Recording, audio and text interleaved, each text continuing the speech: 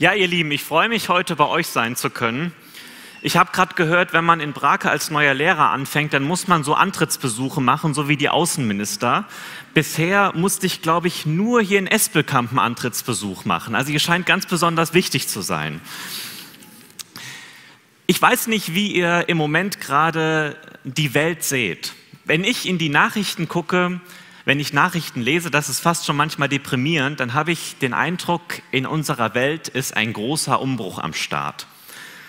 Das habe ich spätestens bei Corona gedacht, aber manches in unserer Welt, jetzt kommt noch ein Krieg dazu und wir haben irgendwie das Gefühl, unsere Welt ist aus den Fugen geraten. Man traut sich ja fast gar nicht mehr, neue Nachrichten zu lesen, weil es überall Schrecknisse gibt und man sich fragt, was ist mit unserer Welt bloß los? Wie geht das weiter? Dann gibt es noch Nachrichten, was ist mit China los? Gibt es da vielleicht irgendwann noch einen Krieg mit den USA und so? Und man kriegt irgendwie Angst und fragt sich, was ist los? Unsere Welt ist offenbar im Umbruch. Aber ich möchte heute mal über einen Text mit uns nachdenken in der Bibel, wo ein ganz anderer Umbruch beschrieben wird. Ich lade euch ein, den aufzuschlagen, der steht im Lukas-Evangelium. Nehmt gerne eure Bibel raus und lasst uns mal diesen Text lesen im Lukas-Evangelium Kapitel 19. Ich lese mal ab Vers 11. Lukas 19 in Vers 11, da heißt es, Während sie aber dies hörten, fügte er noch ein Gleichnis hinzu, weil er nah bei Jerusalem war und sie meinten, dass das Reich Gottes sogleich erscheinen sollte. Jesus ist also mit seinen Jüngern unterwegs nach Jerusalem. Und sie sind so unterwegs, er erzählt ein Gleichnis, kann man kurz davor lesen. Und seine Jünger denken, dass er jetzt, wenn er in Jerusalem erscheint, und dort ankommt, dass dann das Reich Gottes erscheint. Und damit haben die jetzt nicht irgendwie so komische Vorstellungen verbunden, dass dann irgendwas Geistliches oder so passiert. Die haben tatsächlich damit gerechnet, wenn Jesus in Jerusalem ankommt, dann setzt er sich dort auf den Thron. Und dann bringt er Ordnung in das Chaos dieser Welt. Und damals, zu der Zeit, gab es auch viel Chaos. Damals hat man auch von Kriegen gehört. Damals hat man auch von Unruhe gehört. Damals hat man sich auch gefragt, wie geht das mit dieser Welt weiter? Und die Hoffnung der Jünger ist, wenn Jesus jetzt nach Jerusalem kommt, das steht ganz kurz davor, dann wird er in dieser Welt für Ordnung sorgen. Und man kannte die alttestamentlichen Prophetien. Man wusste, was das bedeutet. Man wusste, wenn das passiert, dann bedeutet das nicht nur, dass sich in Jerusalem oder Israel was ändert. Dann bedeutet das nicht nur, dass die Römer entmachtet werden. Dann bedeutet das, dass auf der ganzen Welt Frieden einkehrt. Dass Jesus sich als Herrscher über die ganze Welt in Jerusalem hinsetzt. Das erwarten die Jünger. Sie gehen davon aus, dass ein radikaler Umbruch bevorsteht. Sie erwarten, dass die Welt den Umbruch erlebt, den größten, den sie sich nur vorstellen kann, nämlich wenn Gott selber die Herrschaft auf dieser Erde übernimmt. Und Jesus geht nach Jerusalem und er weiß, das wird ganz anders laufen jetzt. Und er versucht jetzt den Jüngern ein Gleichnis zu erklären, vorzulegen, indem er deutlich macht, was die Jünger eigentlich erwartet und versucht sie vorzubereiten auf etwas anderes. Und er sagt, in Vers 12. Er sprach nun, ein hochgeborener Mann zog in ein fernes Land, um ein Reich für sich zu empfangen und wiederzukommen. Jesus bereitet die Jünger auf etwas anderes vor. Er sagt, ja, es wird eine Welt geben und einen Umbruch geben. Er leugnet das ja gar nicht. Aber er versucht sie darauf vorzubereiten, dass der Zeitpunkt ein anderer sein wird, als die Jünger das erwartet haben. Und er spricht im Gleichnis von einem hochgeborenen Mann, einem ganz edlen Mann, damit meint er sich selber, der ein Reich empfangen wird. Und er sagt, ich werde erstmal weggehen und dann werde ich wiederkommen. Und er versucht, die Jünger einzustellen auf eine Zeit, in der er nicht da ist und betont aber, dass er wiederkommen wird. Und das ist eine großartige Tatsache, auf die wir alle warten, nämlich dass Jesus tatsächlich wiederkommt. Er erzählt hier in diesem Kontext, äh, betont er, dass äh, die Jünger einen Fehler machen können. Nämlich wenn sie erwarten, dass Jesus sofort sein Reich auf dieser Welt aufrichtet. Er erzählt noch mehrere Gleichnisse später, in dem er das Spannungsfeld betont, in dem wir bis heute sind. Die, der eine Fehler ist, den wir machen können, zu erwarten, oder das war vor allem der Fehler der Jünger, dass es sofort passiert. Der andere Fehler ist aber zu denken, dass es noch viel länger dauert, wie bei diesem Mann, der jetzt hingeht, um ein Reich zu empfangen und dann wiederzukommen. Das kennen wahrscheinlich Jugendliche bei euch besser. Das ist ungefähr so, wie wenn die Eltern weggehen und sagen, ich fahr jetzt eine, wir fahren jetzt eine Woche weg und du hast die sturmfreie Bude. Dann ist der erste Fehler, wenn du gar nicht darauf klarkommst, dass die Eltern jetzt weg sind. Als meine Eltern zum ersten Mal weg sind, weg waren, dann haben die mir Aufgaben gegeben und dann musste ich, haben sie zum Beispiel gesagt, ich soll den Rasen sprengen. Ich dachte, wo kriege ich denn jetzt so viel Dynamit her, dass ich den Rasen sprengen kann? Ich habe den Rasen dann nicht gesprengt, das war aber auch nicht in Ordnung. Er war dann ganz gelb nach der Zeit. Also es gibt gewisse Aufgaben, die man erledigen muss in der Zeit. Damit muss man erstmal klarkommen. Das ist ein Fehler, wenn man gar nicht damit rechnet, dass man eine Aufgabe hat, solange die Eltern oder äh, derjenige, der am Aufgaben gibt, weggeht. Der zweite Fehler ist aber in der Regel der schlimmere. Nämlich, wenn du gar nicht damit rechnest, dass die Eltern auch wiederkommen können typische Situation bei uns in der Jugend. Die Eltern sind eine Woche weg. Was macht man? Man lädt die ganze Jugend ein. Nutzt die sturmfreie Bude. Jetzt rufen aber die Eltern aus dem Urlaub an und sagen, übrigens ist es nur Regen hier in Italien. Wir kommen schon einen Tag früher wieder. Oh. Und wir sind schon in einer halben Stunde da. Oh. Wie, was machst du jetzt? Wie kriegst du das hin? Ja? Alle Wände neu tapezieren, neu streichen, neue Möbel kaufen, alles in einer halben Stunde. Das geht niemals. Das ist in der Regel der schlimmere Fehler. Wenn man die Zeit missbraucht, und nicht damit rechnet, dass es viel schneller gehen kann. Die Jünger hier haben den ersten Fehler gemacht. Sie haben gar nicht damit gerechnet, dass Jesus länger weg sein kann und das Reich noch auf sich warten lässt. Aber unser Fehler ist in der Regel der zweite, der schlimmere. Nämlich, dass wir uns auf dieser Welt einrichten und denken, naja, es wird bestimmt noch ewig so weitergehen und nicht damit rechnen, dass Jesus wiederkommt. Jesus spricht hier in diesem Bild davon, dass er als hochgeborener Mann weggeht und ein Reich empfängt und wiederkommen wird. Und das Bild finde ich total interessant. Wisst ihr warum? Die Leute damals, die konnten das ziemlich gut einordnen. Die wussten, was damit anzufangen. Das war nämlich in die Regel die Art, wie jeder König in Israel oder in der Umgebung eingesetzt wurde. Wenn es noch Könige gab und nicht nur Statthalter, dann waren das trotzdem Könige von Roms Gnaden. Das war also so, wenn ein neuer König eingesetzt wurde, dann ist er erstmal nach Rom gegangen, zum Kaiser und hat dort vor der höchsten irdischen Autorität dieser Zeit das Reich empfangen. Und die Leute kannten das. Das war bei mehreren Königen so. Die Jünger wussten die Situation einzuordnen. Und dann wurden die von dem römischen Kaiser als König, als neuer König eingesetzt. Und ab wann waren die König?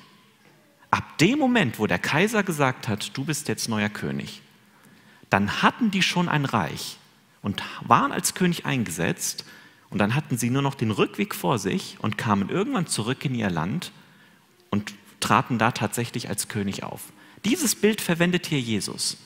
Er sagt, ein hochgeborener Mann, damit meint er sich selber, geht und er meint natürlich nicht, dass er zum römischen Kaiser geht, er meint, dass er zur höchsten Autorität im Universum geht, zum Vater und vom Vater selber die Autorität empfängt, auf dieser Erde zu herrschen. Und das Bild, was hier Jesus verwendet, ist ziemlich interessant, weil er nämlich damit deutlich macht, Jesus ist bereits eingesetzt als König. Das Markus-Evangelium endet damit, dass er sich zur Rechten Gottes setzt. Er sitzt schon auf dem himmlischen Thron. Er ist schon eingesetzt als König. Sein Reich existiert schon. Er hat schon den, den legitimen Anspruch des Herrschers, auch über diese Welt. Der Zeitpunkt ist nur noch nicht gekommen, dass er auf diese Erde als König eingezogen ist. So wie in diesem Gleichnis. Und das ist eben der zweite Teil, dass das noch passieren muss. Jesus wird wiederkommen und wir leben jetzt eben genau in dieser Zwischenzeit, die länger oder kürzer sein kann, hier auch damals in der Situation länger oder kürzer sein kann. Und Jesus erzählt dieses Gleichnis, um die Jünger darauf vorzubereiten und ihnen zu zeigen, wie man in dieser Zwischenzeit leben muss, was das für uns konkret bedeutet. Wie lebt man mit dem Bewusstsein, dass Jesus wiederkommt? Und die Situation, die er hier vorstellt, fängt in Vers 13 an. Da heißt es dann, er berief aber zehn seiner Knechte und gab ihnen zehn Pfunde und sprach zu ihnen, handelt damit, bis ich wiederkomme. Das sind jetzt also zehn Knechte, die er beruft und denen gibt er Geld sozusagen und sagt, haltet damit die Stellung, bis ich als König ganz offiziell einziehe. Habt ihr euch mal gefragt, wie es diesen Knechten ging in diesem Land? Der Vers danach sagt, seine Bürger aber hassten ihn und schickten eine Gesandtschaft hinter ihm her und ließen sagen, wir wollen nicht, dass dieser über uns König sei. Die Bürger des Landes. Jetzt haben wir da die Bürger des Landes, die sagen, nee, also den wollen wir auf keinen Fall als König. Die protestieren, die tun alles, um das zu verhindern. Und wir haben hier diese zehn Knechte. Was glaubt ihr, wer war ungefähr in der Mehrheit? Die Bürger oder die zehn Knechte? Schon noch die Bürger, oder? Was vermutest du, wie viele Bürger waren da? Mehr als zehn. Ja, wie viel? Sag mal eine Zahl, ist ja auch egal. 100.000, ja, also 100.000 Bürger und du hast zehn Knechte. Natürlich wissen wir nicht, ob das alle waren, aber die diese Funktion, diese Aufgabe hier bekommen haben, waren zehn.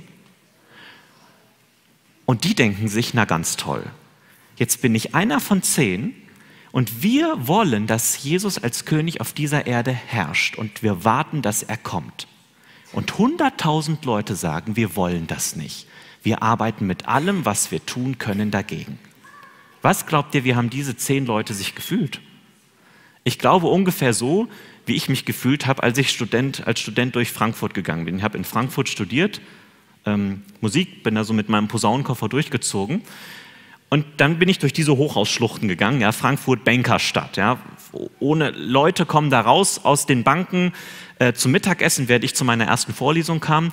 Äh, und du weißt genau, wo die hingehen. Die gehen jetzt irgendwie ins, in eine, zu einem Geschäftsessen in irgendein äh, superreiches Lokal, wo ich mir nicht mehr die Vorspeise hätte leisten können. Geld ohne Ende, Autos, die krassesten Sachen. Und ich laufe da so durch mit meinem Posaunenkoffer, irgendwie im zweiten, dritten Semester und frage mich, habe ich das Falsche studiert? Habe ich mein Leben aufs falsche Pferd gesetzt? Hätte ich nicht besser das, den Weg eingeschlagen, den die eingeschlagen haben? Aber da war es zu spät, im dritten Semester willst du dann nicht nochmal umsatteln. Du hast es, glaube ich, richtig gemacht. Du hast irgendwie eine Banklehre gemacht, ne? Ja, wäre besser gewesen. Aber im dritten Semester war das dann irgendwie schon zu spät. Und dann läufst du da mit deinem Posaunenkoffer durch. Und die ganzen Leute, oder mit irgendeinem Polohemd oder T-Shirt, ne, was Studenten halt so anhaben. Und dann kommen die ganzen Leute mit ihren feinen, maßgeschneiderten Anzügen daraus und demonstrieren dir, dass du gar nichts bist und sind selber die Gewinner in dem System dieser Welt. Und ich gehe da durch und denke einfach nur so klein und denke, beachtet mich einfach nicht. Ich bin nicht hier, sorry, ich, ich, ich muss da nicht durch. Ihr könnt die Straße alleine haben. Das ist die Einstellung, mit der der Mann durchgeht. Und ich glaube, habe manchmal den Eindruck, dass wir als Christen mit dieser Einstellung durch diese Welt gehen und denken, naja, in dieser Welt, ich bin ja eigentlich ein Niemand. Wir leben gerade in einer Zeit einer extrem moralisierenden Gesellschaft, wo Leute wegen den kleinsten Vergehen niedergeschrien werden oder einen Shitstorm abbekommen. Und du fragst dich dann, naja, was passiert eigentlich, wenn ich meine Meinung mal ein bisschen zu deutlich äußere? Was würde eigentlich mein Nachbar denken, wenn ich ihm mal sage, was ich so alles glaube? Wie geht es mir dann eigentlich? Und dann der, oder mein Arbeitskollege, der ist sowieso, der mag sowieso die Christen nicht ganz so sehr. Und dann denkst du dir, na komm, dann lebe ich lieber so, dass ich nicht auffalle. Dann mache ich es lieber so, dass ich ganz klein durch Frankfurt gehe oder wo auch immer du durchgehst. Einfach nur nicht auffallen. Und am besten mache ich einfach, versuche ich ein bisschen was mitzunehmen von dieser Welt. Oder du denkst dir, wenn du Mutter bist von zwei oder drei Kindern oder bei euch vielleicht, ich weiß nicht, fünf Kindern, ähm, denkst du dir, habe ich nicht vielleicht einen Fehler gemacht? Und du siehst gerade auf Instagram, blätterst du so durch die Profile von irgendwie deinen Schulkolleginnen und so und du merkst ja, die, die sind gerade irgendwie Influ Influencer auf Ibiza, gleich alt wie du, ne? Und sonnen sich da in irgendeinem so Pool und schlürfen so einen Cocktail, posten da so ein Bild und du hast gerade irgendwie eine dreckige Windel und noch ein bisschen, äh, bisschen andere Flüssigkeiten von deinen Kindern auf dem Arm oder dem Hemd oder so und fragst dich gerade, habe ich nicht irgendwie einen Fehler gemacht in meinem Leben? Ist es ein Fehler, dass ich Jesus nachfolge und nicht versuche, in dieser Welt reich zu werden oder zu den Schönen und Guten und Angesehenen zu gehören? Ich glaube, ungefähr so fühlen sich diese zehn Knechte in einer Gesellschaft, die nichts davon will. Aber ein Glück, der Herr gibt diesen Knechten hier was mit. Er gibt ihnen jeder ein Pfund mit, ein Pfund Silber. Und du denkst dir, gut, damit sollte sich was reißen lassen, mit einem Pfund Silber. Du hast als Banker wahrscheinlich schon mal einen Goldbarren in der Hand gehabt, ich noch nie. Hast du schon mal? Auch Silber. Ich war ganz erstaunt. Guck mal, das ist ein Pfund Silber. Das ist richtig mickrig, gell? Das ist, weil das halt so schwer ist. Also das ist tatsächlich ungefähr ein Pfund. Wisst ihr, was das Pfund Silber nach heutigen Preisen ungefähr wert ist? Was würdest du denken? 500 Euro, gar nicht so schlecht, genau ungefähr, ne? Also ein bisschen die Hälfte da, aber so 250 Euro ist nicht viel. Okay, herzlichen Glückwunsch. Du stehst als einer von 10 unter 100.000, aber du hast 250 Euro in der Hand. Damit solltest du doch was reißen können, oder? Deine Aufgabe ist nichts weniger, als die Fahne hochzuhalten. Denn du bist einer von denjenigen, die wissen, wer König ist. Und deine Aufgabe ist es, die Stellung zu halten in dem Land, die Fahne hochzuhalten. Und jetzt stehst du hier mit 250 Euro. Bist du Fußballfan? Von was? Welcher Mannschaft? Werder Bremen. Jetzt stehst du hier mit 250 Euro als Werder Bremen-Fan im Ultra-Fanblock äh, von Bayern und hältst die Bremen-Fahne hoch, oder? Nee, du denkst dir, die lasse ich heute mal unten. Die habe ich heute verloren. Das ist aber häufig doch die Einstellung, mit der wir durch das Leben gehen, oder? Wir denken, was kann ich, kleiner Hansel, schon machen? Ja, und sicher, wir haben Gaben bekommen. Aber du denkst dir, meine Gaben sind eh nichts wert. Was kann ich schon machen? Welchen Prediger wie Spurgeon, dann könnte ich predigen und 40.000 Leute würden sich bekehren. Dann wäre es gut. Habe ich aber nicht, bin ich aber nicht. Und du denkst dir, ich bin einfach in meinem kleinen Umfeld. Was kann ich schon machen? Ich kann ein bisschen Bilder malen, denkst du dir. Was soll ich schon machen können damit? Und die Aufgabe ist, geh mit dem, was du hast und handle. Und wir fühlen uns entmutigt. Und genau deshalb erzählt Jesus den Jüngern dieses Gleichnis. Genau weil er weiß, dir und mir geht es genauso. Wie diesen zehn Knechten. Und er sagt, wisst ihr was? Jetzt fühlt ihr euch heute auf der Verliererseite und fühlt und denkt, ich bin in der Defensive am besten, ich bin gar nicht zu laut und sitze es einfach nur aus. Aber was besser wäre es, wenn wir mutig Stellung beziehen würden. Wisst ihr, wer das hier ist? Das ist Michael Burry. Der hat dort gewohnt in der Finanzmetropole seiner Zeit, in New York, wo die Banken äh, der Welt angesiedelt waren. Und der ist tatsächlich so, wie er da aussieht, das ist, bin ich als Student, genau, obwohl ich genauso aussah. Also man sieht, der hat Shorts an, falls ihr das sieht, ne, und ein T-Shirt. So bin ich als Student natürlich auch durch die Bankenviertel äh, da gelaufen. Aber der ist so in die Banken reingelaufen, der ist so zur Arbeit gegangen. Der war einer von denen.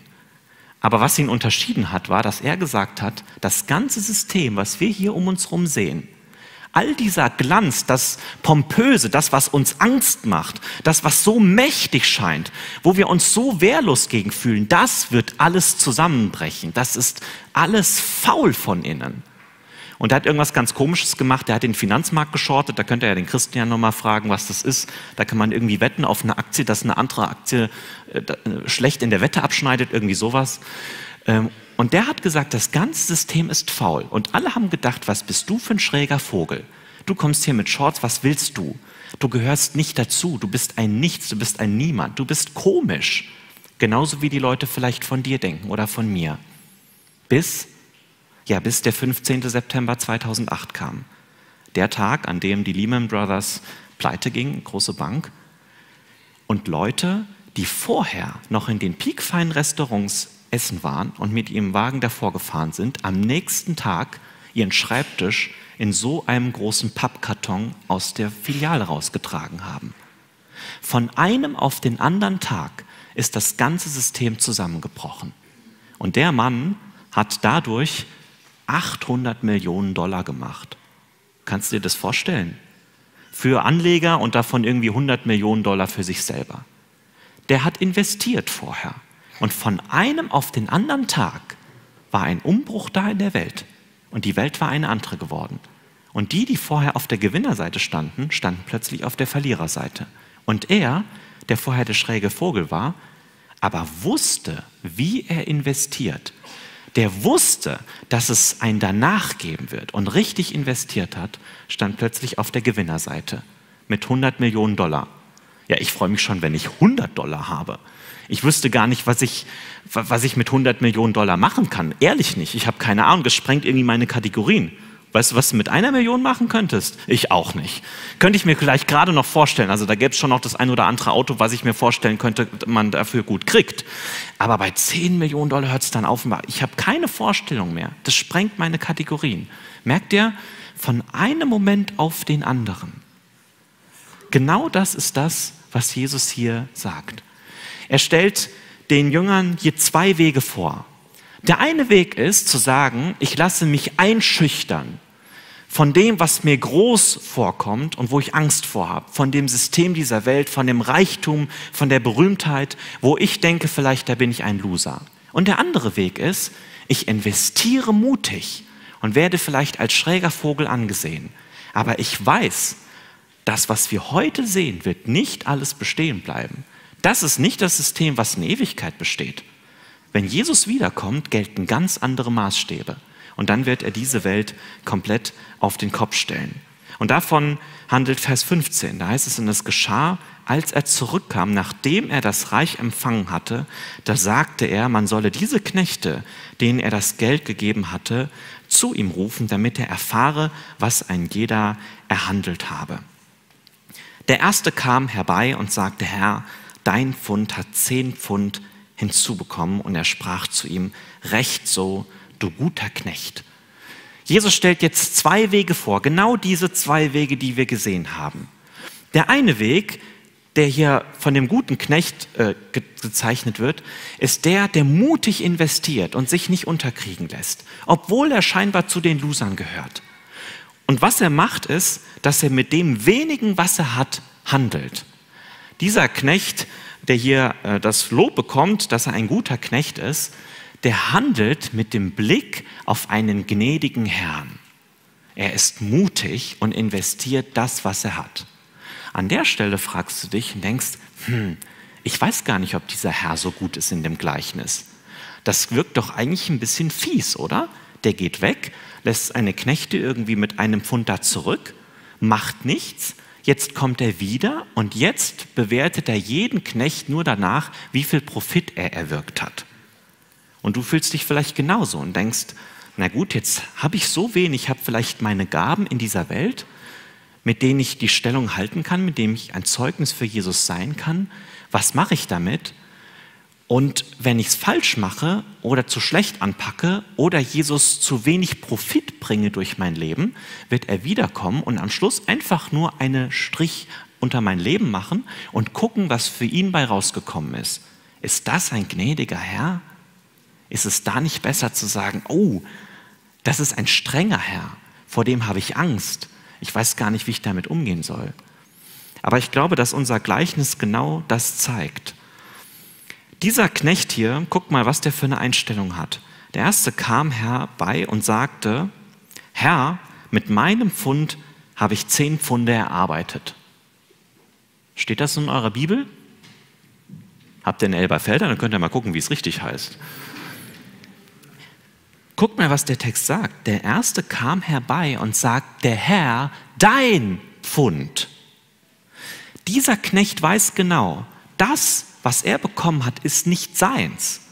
Er sieht es auch nicht so an, als hätte er einen Besitz gehabt, mit dem er jetzt etwas tun muss. Er weiß, alles, was er bekommen hat, ist im Prinzip ein Geschenk gewesen. Was ist dieses Pfund, was du geschenkt bekommen hast?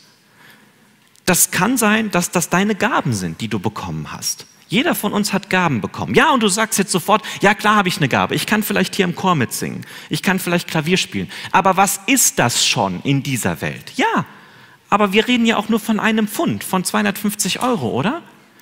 Das ist nicht viel. Aber es ist etwas, mit dem du etwas tun kannst. Und was von uns erwartet ist, ist mit dem wenigen, was wir haben, treu zu Jesus zu stehen. Ich weiß nicht, was deine Gabe ist. Meine Gabe ist es zum Beispiel nicht zu malen. Ich habe meiner Frau einmal ein Bild gemalt, das hat sie dann aus Höflichkeit irgendwie ein paar Jahre aufbewahrt und dann beim nächsten Umzug wurde es irgendwie nicht mehr gefunden. Keiner weiß, was damit passiert ist. Wenn ich ein Bild malen würde, eine Postkarte, um dich zu ermutigen, du wärst so entmutigt, du würdest, ich weiß nicht, was passieren würde, du würdest den ganzen Tag nicht mehr glauben können oder so. Aber jemand von euch kann das vielleicht. Jemand von euch hat vielleicht die Gabe, einfach was Schönes für den anderen zu machen. Und du sagst, ja, das ist nicht viel, ja, das ist vielleicht auch so. Aber mit dem wenigen, was du hast, kannst du investieren und etwas bewirken. Und Jesus verlangt ja nicht, dass wir sein Reich hier auf der Erde errichten. Er kommt als König und wird das selber tun. Unsere Aufgabe ist aber, hier die Stellung für ihn zu halten und Leute auf diesen kommenden König hinzuweisen.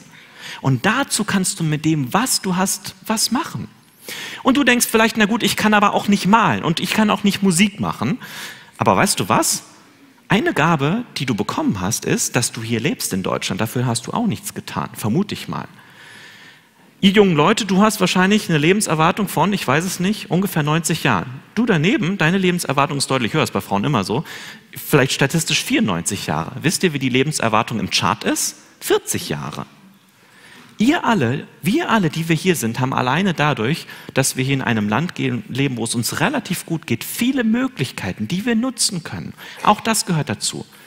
Du sagst vielleicht, äh, ich bin Schüler, was kann ich schon machen? Ja, als Schüler hast du heute Zeit, ist dir vielleicht gar nicht so bewusst gewesen. Ne? Spätestens, wenn du anfängst zu studieren und abends merkst, ich muss mal aufstehen, bevor der Aldi zumacht, dann merkst du, dass du Zeit hast als Student. Wir haben heute viel Zeit. Ich habe in den Semesterferien mehr Zeit gehabt als manch einer in vielen Jahren seines Lebens. Ähm, wir waren mal in äh, Afrika und da hat uns ein Missionar aus dem Chart erzählt.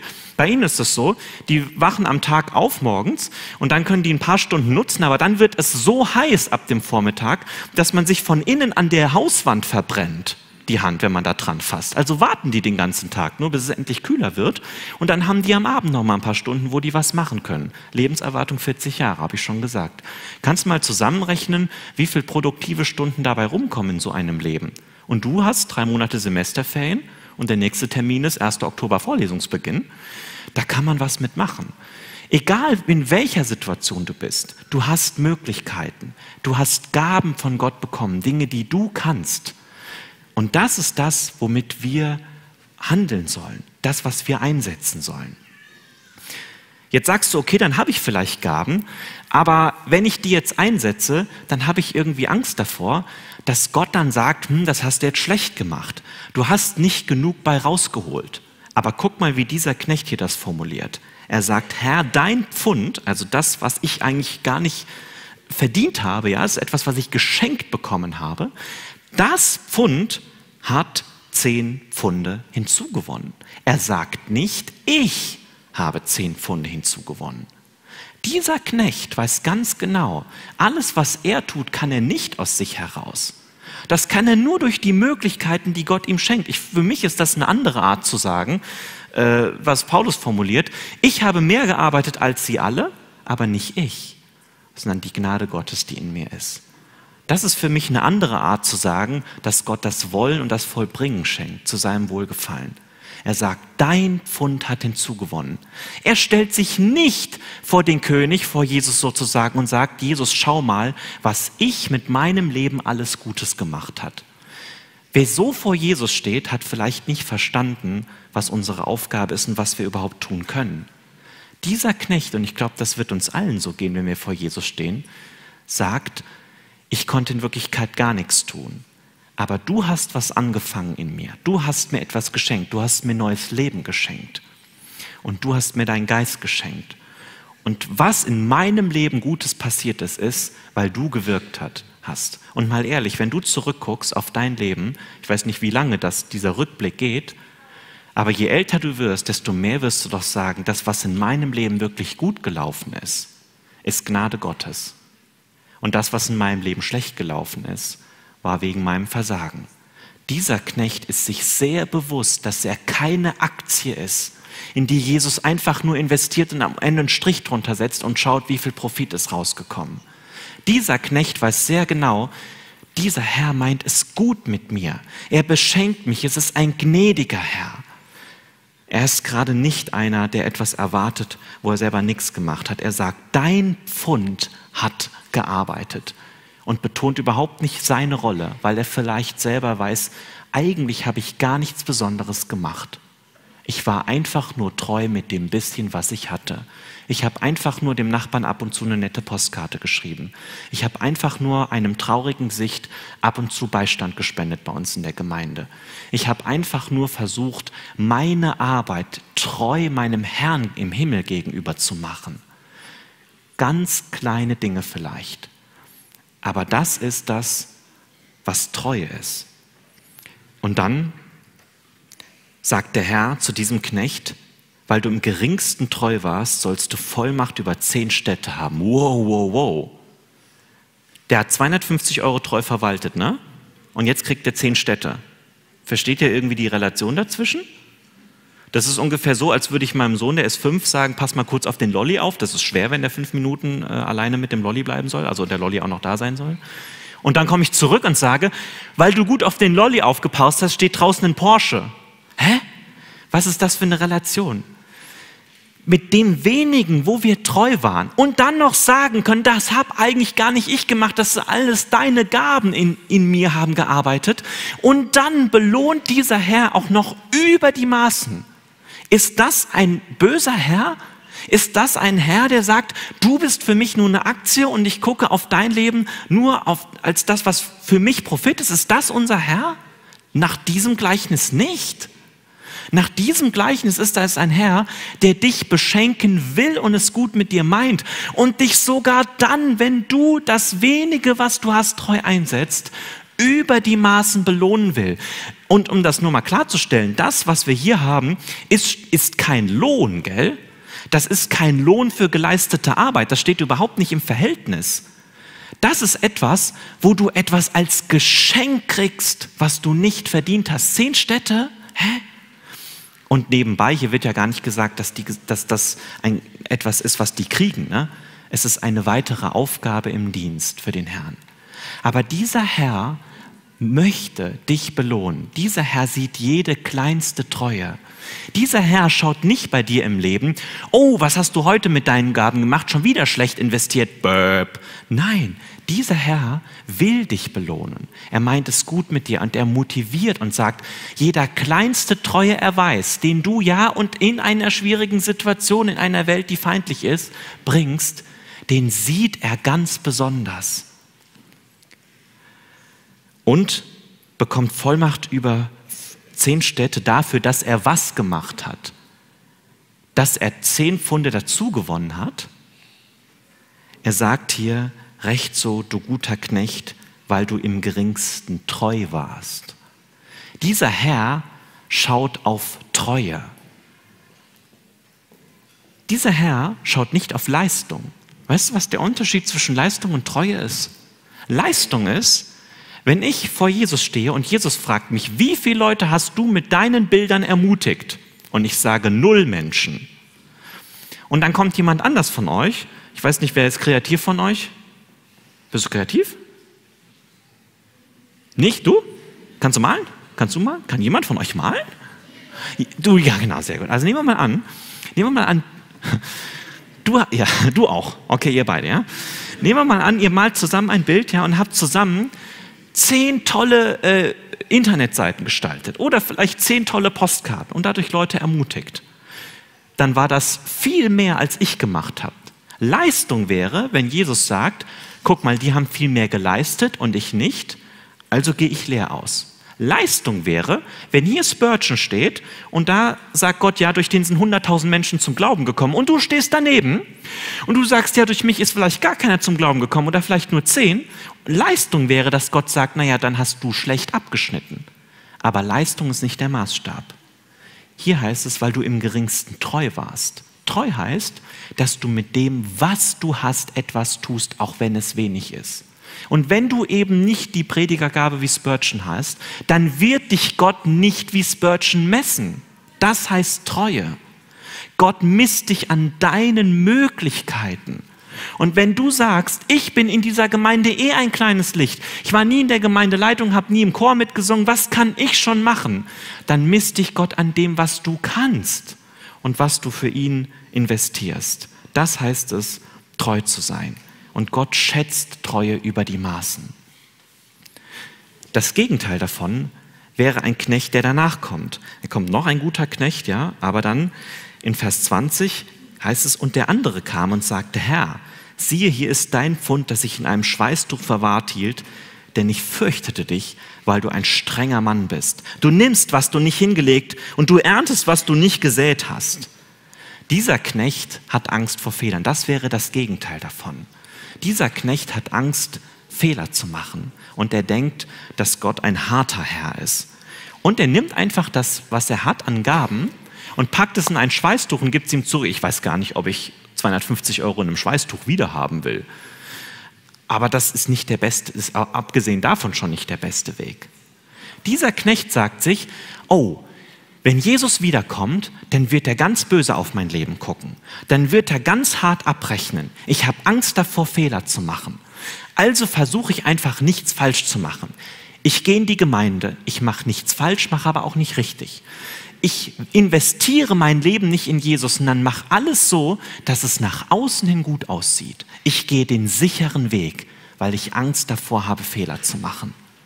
Das wäre ungefähr das Verhalten von diesem Knecht. Das kannst du machen. Als Jugendlicher denkt man ja, das ist eigentlich eine gute Idee, oder? Ich mache in der Gemeinde mit, so dass ich safe bin, dass ich, wenn Jesus wiederkomme, dabei bin.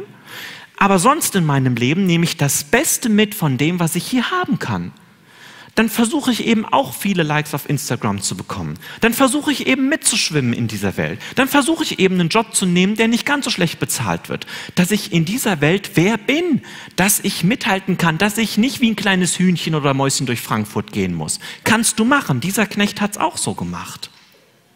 Aber das Problem war, der Grund, warum er das so gemacht hat, war Angst. Er hat Angst gehabt vor einem harten Herrn. Und er drückt das auch aus. Er sagt, weil du ein strenger Mann bist, du nimmst, was du nicht hingelegt und du erntest, was du nicht gesät hast. Ja, stimmt das eigentlich, was der sagt? Ist es denn eigentlich richtig, was er sagt, dass du erntest, wo du nicht gesät hast? Entspricht das dem, was wir bisher im Gleichnis gesehen haben? Ein Herr, der zehn Pfunde gibt? Ein Herr, der sehr genau weiß, dass nicht die Knechte die eigentlich Wirkenden sind, sondern die Möglichkeiten, die er in sie hereingelegt hat. Und ein Herr, der über die Maßen belohnen und beschenken will. Ist das das Bild, was dieser Knecht hier zeichnet?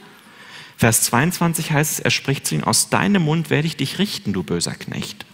Du wusstest, dass ich ein strenger Mann bin, ich nehme, was ich nicht hingelegt habe und ernte, was ich nicht gesät habe. Warum hast du mein Geld nicht auf die Bank gegeben? Und wenn ich kam, hätte ich es mit Zinsen eingefordert? Er sagt dann, nehmt ihm das weg, das Pfund. Der Herr macht deutlich, dieser Knecht, was er sagt, stimmt einfach nicht. Er sagt, wenn das wirklich so wäre, was du sagst, dass ich so streng bin, dann hättest du wenigstens das Geld auf die Bank bringen können, irgendwas damit machen können, um es sicher zu verwahren. Aber er sagt, bei dir ist was anderes faul. Du zeichnest ein falsches Bild von mir. Was du sagst, stimmt nicht. Dieser Knecht handelt aus einem falschen Gottesbild heraus. Er handelt aus einem Bild heraus, dass Gott als strengen Gott sieht, der auf Fehler in deinem Leben guckt und nur wartet, dass du was falsch machst und dir dann die Rechnung irgendwann präsentieren kann. Dieser Knecht und der Umgang des Herrn damit macht deutlich, der schlimmste Fehler ist nicht, wenn du investierst und Fehler machst. Das ist nicht das Schlimmste. Das Schlimmste ist, wenn du gar nicht investierst. Das Schlimmste ist, wenn du sagst, ich ziehe mich einfach zurück und gehe auf Nummer sicher. Das ist das Schlimmste. Es ist besser, einfach das wenige, was du hast, einzusetzen und zu sagen, ja, ich möchte die Stellung für Jesus halten. Ich warte auf meinen Herrn, bis er wiederkommt. Und vertraue darauf, dass ich einen gnädigen und gütigen Herrn habe. Und dann mache ich vielleicht Fehler. Und wir alle machen viele Fehler. Aber wenn ich gar nichts mache und sage, oh, dann gehe ich lieber auf Nummer sicher oder gehe auf, fahre auf zwei Gleisen, nehme das Beste aus der Welt mit und das Beste aus der Gemeinde und lasse meine Gaben und meine Möglichkeiten, die Gott mir gegeben hat, einfach ungenutzt, das wäre der schlechteste Weg. Ich glaube, als Jugendlicher ist man heute ganz leicht in der Gefahr, dass man denkt, okay, ich weiß nicht, wie soll ich gehen, soll ich wirklich mein ganzes Leben auf Jesus setzen? Mach es Mach das, sei mutig. Geh da mal vorein, geh da mal voll rein und sag, ich will mein Leben auf Jesus setzen. Und ja, ich bin ein kleines Licht in dieser Welt, wir alle. Aber mit dem wenigen, was wir haben, können wir investieren und uns freuen auf einen Herrn, der wiederkommt und der uns beschenken will und der es gut mit uns meint. Und am Ende dieses Gleichnisses wird nur angedeutet, dass der Moment, in dem Jesus wirklich wiederkommt, ein radikaler Umbruch in dieser Welt sein wird. Ganz am Schluss heißt es im letzten Vers, jene meine Feinde, die nicht wollten, dass ich über sie König würde, bringt sie her und erschlagt sie vor mir. Wenn Jesus wiederkommt, dann wird er diese Welt auf den Kopf stellen. Und Jesus differenziert hier in diesem Gleichnis nicht, ob dieser Herr zuerst für uns wiederkommt als Gläubige. Paulus spricht davon, dass Jesus zuerst für uns wiederkommt in der Entrückung und dann noch einmal sichtbar für alle Menschen auf dieser Erde. Das wird in diesem Gleichnis nicht unterschieden. Aber für uns wird er kommen und uns belohnen. Und er wird aber auch für diese Welt kommen. Und dann wird er diese Welt auf den Kopf stellen. Und wer vorher auf der Gewinnerseite stand, kann dann auf der Verliererseite stehen, je nachdem, wie er zu Jesus stand, ob er an ihn geglaubt hat und zu Jesus gehört hat. Dieser faule Knecht, dieser böse Knecht, der hier erwähnt wird, der soll uns keine Angst machen. Hier geht es auch nicht um die Frage, ist er jetzt gläubig oder nicht. Das ist einfach eine Haltung, die Jesus an diesem Knecht deutlich macht und zeigt, das ist nicht die Haltung, aus der wir handeln sollen, selbst wenn das oft so ist. Das sollte nicht unsere Haltung sein. Und dieses Gleichnis will uns motivieren und Mut machen. Ja, wir sind nicht die Mehrheit in der Welt heute. Ja, wir haben nicht viele Möglichkeiten. Und ja, wir werden diese Welt nicht umkrempeln. Und ja, deine und meine Möglichkeiten sind beschränkt.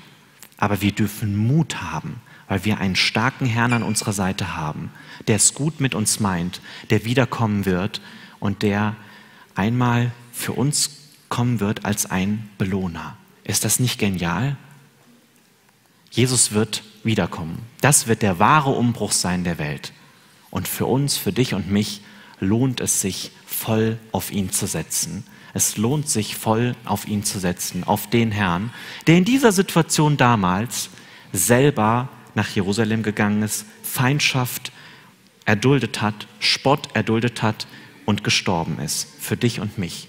Wir haben einen Herrn, der diesen Weg selbst vorangegangen ist, der für uns gestorben ist und wir dürfen ihm danach gehen. Wir wollen jetzt, jetzt zusammen daran denken, was Jesus getan hat, aber dieser Herr ist derselbe, den wir auch erwarten. Und es lohnt sich, auf ihn zu setzen. Das wünsche ich uns allen und das wünsche ich auch mir in meinem Leben, dass ich das mehr tue.